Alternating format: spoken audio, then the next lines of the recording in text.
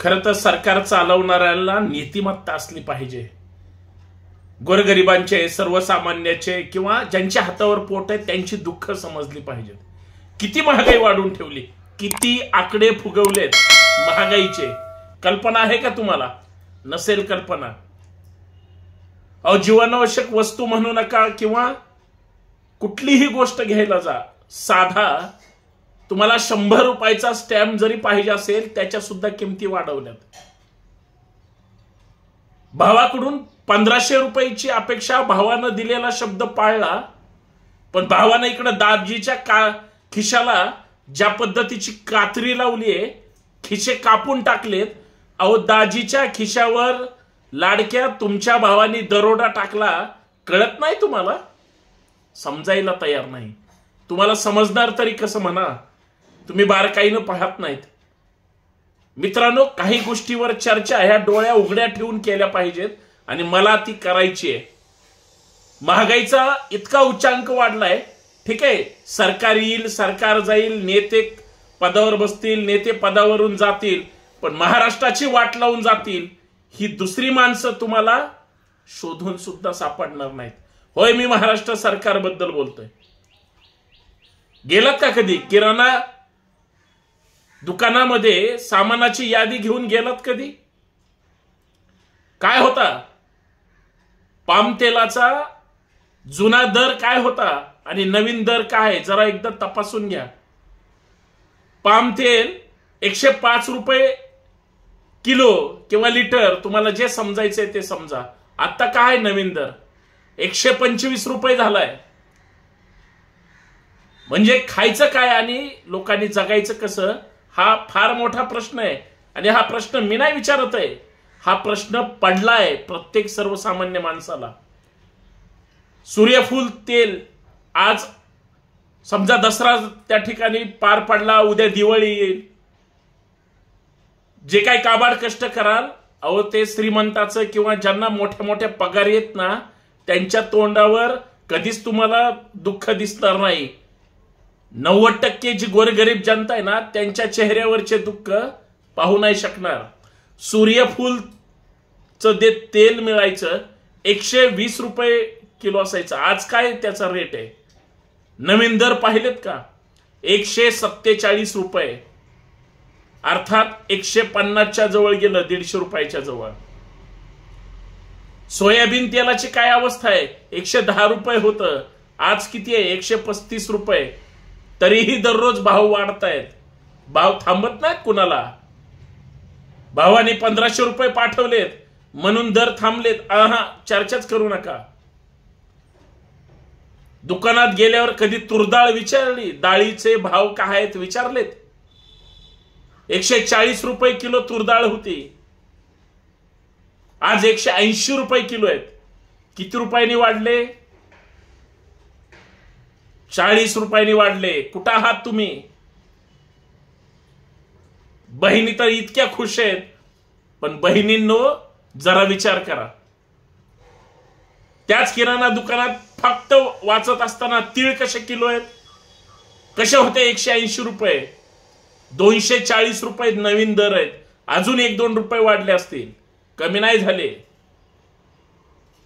खोबरं कसं किलो आहे? विचारलं? एकशे चाळीस रुपये होतं खोबरं.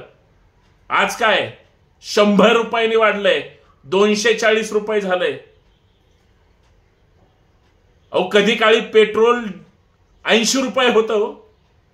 काय केलंय आता? एकशे वीस रुपयापर्यंत घेऊन गेले. हे तुमचे आजचे दिन. उद्ध्वस्त करायचे लोकांना.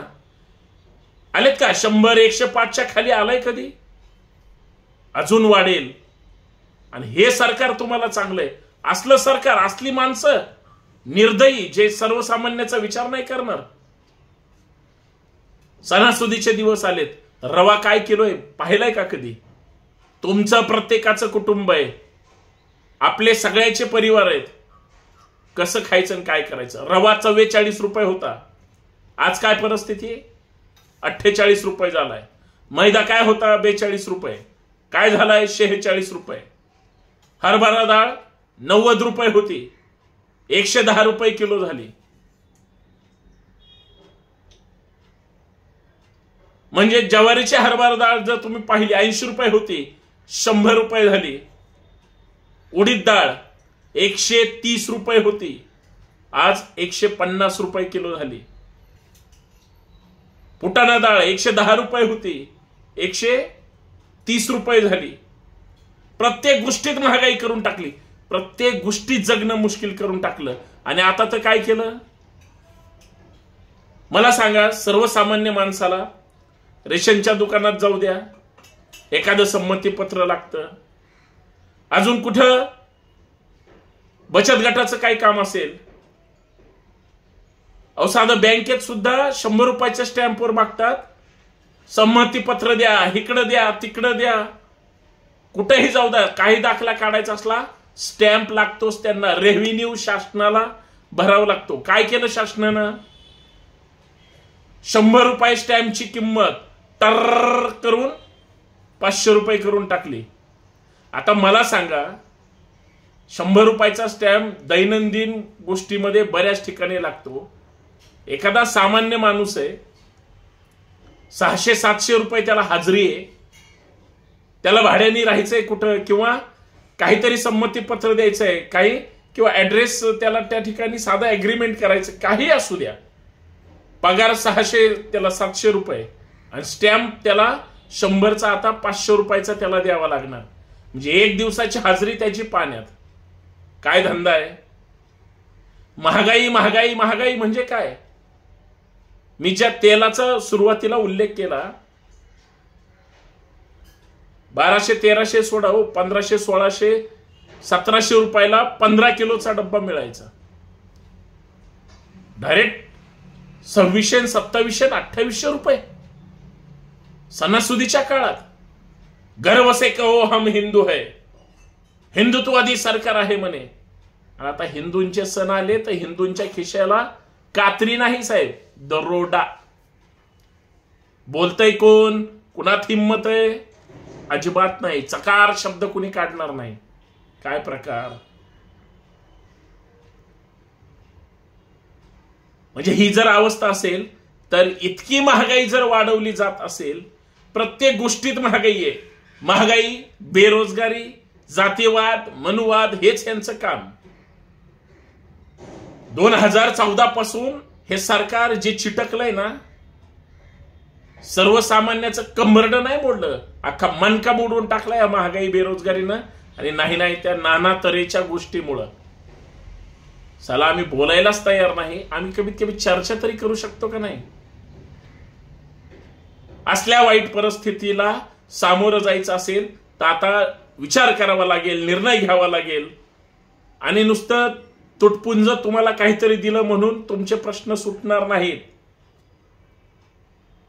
भिकाऱ्याला भीक देणं हे कर्तृत्व नाही. भुकेलेला अन्न देणं हा परमार्थ आहे. ज्याच्या पोटात अन्न नाही त्याला देणं अपेक्षित आहे.